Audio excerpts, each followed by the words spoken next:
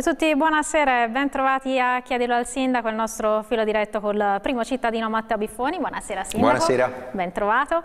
Questa sera una puntata dedicata in particolare a tre progetti che hanno un filo conduttore, si rivolgono infatti soprattutto a soggetti che comunque vivono un po' al margine della società o comunque si trovano in condizioni di difficoltà o di disagio. Parliamo, iniziamo parlando del nuovo regolamento per la permanenza delle famiglie rom e sinti nelle aree attrezzate per il loro superamento, uno dei primi esempi in Italia, un regolamento che arriverà, approderà sui banchi del Consiglio Comunale questa settimana. Sì, l'abbiamo presentato venerdì scorso, eh, oh, Prato, a Prato Cigarba fa polemica su tutti, figuriamoci su questa questione se non c'è discussione. E francamente lo dico, non era un, nemmeno un tema che diciamo particolarmente, che ti porta particolari pacche sulle spalle da questo punto di vista, però è una cosa che va fatta, va fatta per la nostra città, va fatta perché eh, l'attuale regolamento eh, dei campi era assolutamente sorpassato, ancora si parlava di circoscrizioni, ancora figuriamoci, e l'idea è nel momento in cui mettiamo mano per esempio alla permanenza nei campi, quindi non, ci, non, non, saranno rilasciate autorizzazioni in presenza di reati commessi, se si è stati allontanati altri campi, c'è la partecipazione anche di chi in questo momento vi risiede per, insieme all'amministrazione per capire quali sono le problematiche da affrontare, insomma si è rinnovata tutta una serie di, di temi e in questo rinnovo abbiamo messo anche l'inizio del percorso del superamento. Perché secondo me è una roba, vero, sono lì da 30 anni, 35 anni, ma a me non,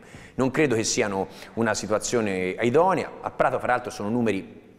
abbastanza contenuti, si sta parlando di ehm, 230 persone complessivamente, la stragrande maggioranza, fra l'altro cittadini italiani, quindi anche facilmente diciamo, eh, bisogna accompagnarli in una fase di appunto, eh, superamento del campo attraverso i sostegni di formazione lavorativa, attraverso i sostegni per chi è in, nelle condizioni di averli eh, come, esattamente come tutti gli altri cittadini e incentivare ed aiutare appunto la fuoriuscita dal campo attraverso il reperimento di, di abitazioni e di quello che è stessi diritti, stessi doveri in un'ottica appunto che incentivi il prima e il più possibile il superamento dei campi per arrivare ad essere una fra le prime città d'Italia eh, a non avere più appunto i campi come li abbiamo, li abbiamo conosciuti. Eh, noi facciamo così e credo che si faccia così, eh, la RUSPA è uno slogan sciocco fra l'altro eh, perché ci tratta di persone, di bambini, eh, si fa con uno sforzo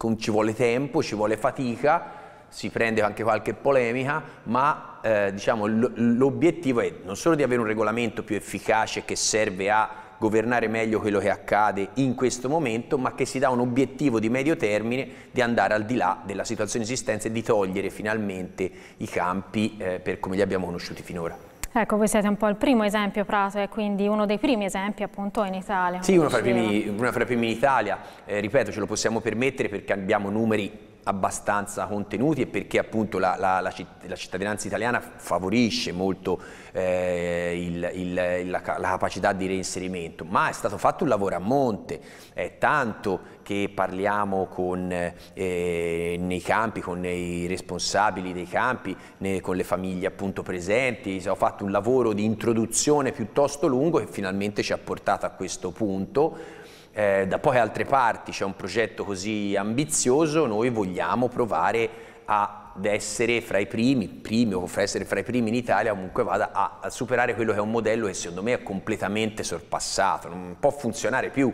che Viale Marconi rimanga in quelle condizioni, che eh, Viale Manzoni idem, insomma non, non, va bene né per rispetto delle persone che ci abitano né per rispetto della comunità diciamo, che, che, che è l'intorno. Quali saranno appunto quindi anche i vari step entrando appunto in merito al regolamento? Beh, la prima questione appunto è, si inasprisce da un certo punto di vista la possibilità di accesso, eh, dall'altro lato si instaura una serie di figure che eh, si, si, ripassano dalle circoscrizioni ovviamente all'amministrazione comunale, non ci sono più le circoscrizioni, eh, si instaura appunto un dialogo attraverso eh, quelli che sono la, per, per, i campi dei riferimenti che verranno eh, espressi appunto dagli abitanti eh, stessi, eh, si diciamo, mh, restringe diciamo, l'attività riguardo a quelle appunto che la, sono la gestione dei campi, dei campi stessi e poi si introduce un, di di, un percorso di formazione lavorativa per gli abitanti, dopo e scontato ovviamente per acquisita la frequenza a scuola dei bambini, nemmeno in discussione, eh, la formazione e poi l'accompagnamento delle famiglie nel reperimento di un'abitazione sul territorio, attraverso appunto fondi propri per chi può, per chi se lo può permettere, oppure attraverso gli strumenti che a tutti i cittadini sono riservati, cioè quelli dei servizi sociali e del, e del percorso diciamo, protetto e accompagnato all'amministrazione comunale. Eh, lo facciamo partire da subito, giovedì lo portiamo in consiglio comunale e poi, diciamo, visto che c'è già stato un lavoro a monte, vediamo appunto di implementarlo e di farlo diventare il prima possibile un modello, un modello italiano. Parliamo adesso del secondo progetto che accennavamo all'inizio, un progetto di educazione alla legalità, Voci dall'altra parte della città, questo è il titolo dell'incontro che si è svolto la settimana scorsa e che ha coinvolto alcuni studenti delle classi quinte del Copernico e due detenuti, un progetto promosso dalla Polizia Municipale eh, per eh, comunque eh, che ha come obiettivo quello lì di mettere in guardia soprattutto i ragazzi anche eh, dai pericoli derivanti da determinate condotte che si sono eh, un po' accentuate anche dalla pandemia, quindi quanto è importante importante anche eh, questo raccordo che c'è anche tra i ragazzi, quindi anche un modo per dire ai ragazzi fa, sta, fate attenzione, state sì, attenti. Insomma. Sì, anche questo, però in realtà a me piace molto questo progetto, ci abbiamo lavorato per mettere in contatto i ragazzi delle scuole medie superiori e carcerati della Dogaia, perché secondo me è reciproco l'interesse. Eh, hanno sbagliato, stanno pagando la loro pena, ehm, però diciamo costituzionalmente è previsto appunto, un percorso riabilitativo che li accompagni e li porti fuori dalla eh, situazione che eh, stanno vivendo appunto e quando tornano nella società siano persone che siano in grado appunto di fare un loro percorso nel rispetto delle leggi. Entrare in contatto con le nuove generazioni, i nuovi ragazzi, da detenuti, cioè da ristretti, eh, nel loro percorso, secondo me può essere un primo modo per, un primo modo in realtà, cioè un, un, ulteriore modo per eh, prendere contatto, contezza con quelle che sono eh, le dinamiche che ci sono all'esterno del carcere. Viceversa per i ragazzi, eh, abbiamo visto la scorsa settimana, abbiamo fatto appunto questo confronto, c'è tanta attenzione, tanto interesse, tanta curiosità su quelli sono gli aspetti del carcere, ma soprattutto la volontà di capire perché uno commette dei fatti e poi lo portano a passare 5, 10, 20 anni eh, all'interno di una struttura carceraria, eh, cercare di comprendere eh, come mai siamo arrivati a quella situazione. E devo dire c'è stata una grandissima risposta, un'interrelazione molto ampia, due, due mondi che difficilmente entrano in contatto. Noi abbiamo a che fare col carcere, fortunatamente per motivi di, di lavoro ci contattiamo, è una struttura importante del nostro territorio, però magari per chi non ha questa eh, dimestichezza può apparire come un mondo distante, appunto quasi a parte. E invece ecco questa relazione è bene che ci sia e che sia piuttosto stretta, serve a ragazzi per capire effettivamente tante questioni eh, diciamo, dell'atteggiamento, del perché si arriva a commettere determinati fatti, ma credo possa servire anche ai detenuti, anche ai ristretti per appunto continuare il loro percorso di rielaborazione di se stessi per tornare in società.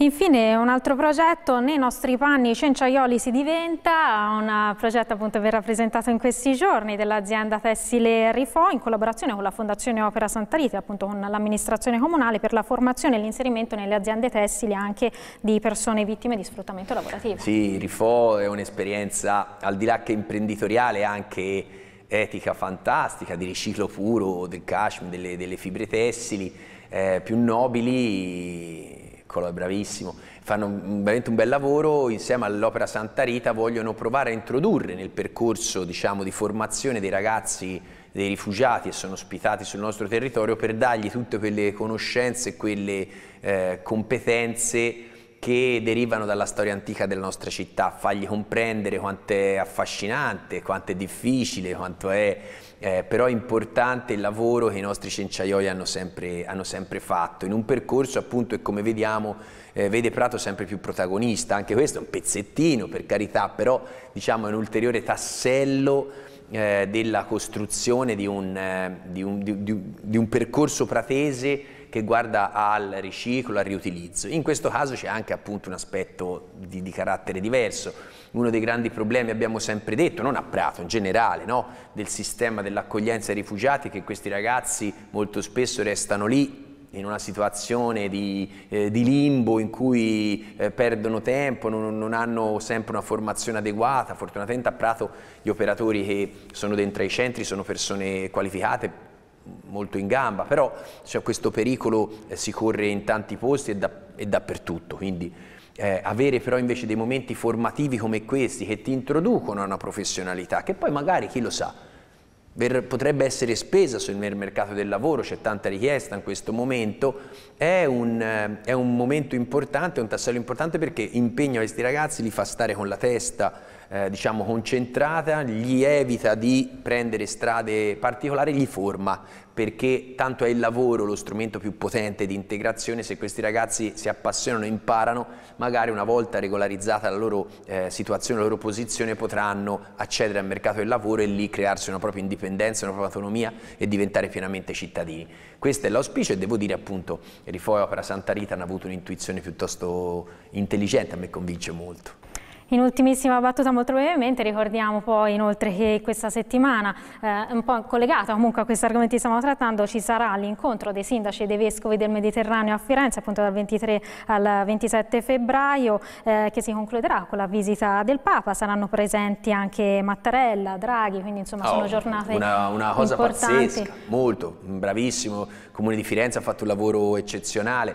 avrà i protagonisti eh, più importanti della, della, vita del nostro paese, ovviamente il Presidente del Consiglio e il Presidente della Repubblica, avrà il Papa, eh, la presenza del Papa, i sindaci di tantissime eh, città che si affacciano sul Mediterraneo, anche che non si affacciano, sarà il sindaco di Prato, il sindaco di Milano, eh, porteremo appunto una serie di contributi riguardo alla eh, questione dei, diciamo, del mare che fa da culla, da chioccia alla nostra, alla nostra Italia eh, attraverso appunto quello che è l'accoglienza, la diffusione delle pratiche, eh, le relazioni tra stati, insomma i tanti temi che riguardano la convivenza nella sua generalità più diffusa. Eh, appunto tanti, tantissimi protagonisti, oltre ovviamente a Draghi, Mattarella, a Papa Francesco, anche appunto vescovi da tutto il mondo, sindaci da tutto il mondo, poi personalità eh, delle più importanti eh, realtà, realtà mh, organizzative del mondo, da, da, da, dall'ONU